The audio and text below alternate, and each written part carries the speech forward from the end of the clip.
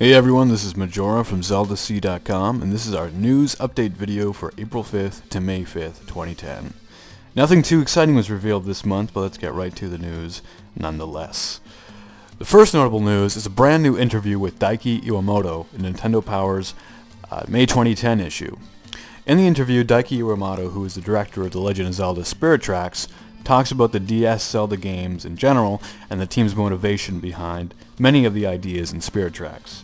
It's a good read and we transcribed it for you guys on Zelda Chronicles, so head over there for more. Next up, Zelda Power has uploaded scans of all 100 pages of Nintendo Dream Magazine Zelda artwork that we actually reported about a while back.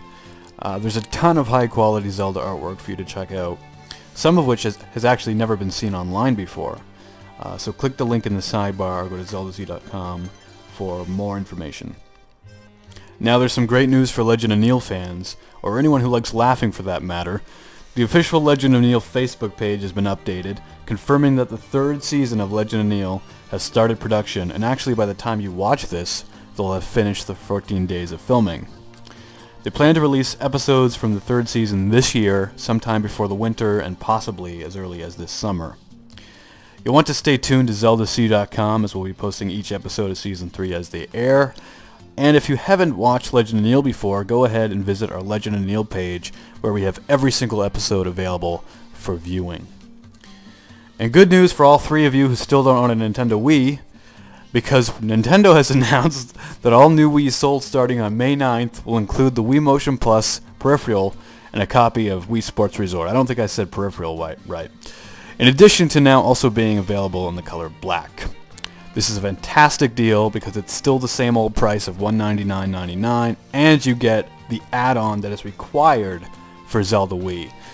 So uh, more information is in the link on the sidebar, but really all you need to know is on May 9th, go buy a black Wii if you don't already have one.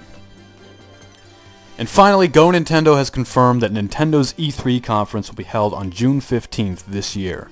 Although no specific time for the conference was provided, it's been speculated that they will present sometime before Sony's show, and if past E3s are any indication, we'd say it'll definitely be in the morning.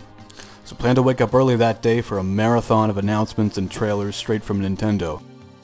Well, that's it for Zelda news this month, but be sure to visit ZeldaC.com for any rumors that we may have missed, and any articles and fan-made stuff that we don't cover in these video updates. Next month is E3, so we'll have a normal update video on June 5th, before the insanity begins, and then a special E3 episode a day or so after Nintendo's E3 presentation. So definitely pay attention to the site. Anyway, thanks guys, that's it for this month. We'll see you next time.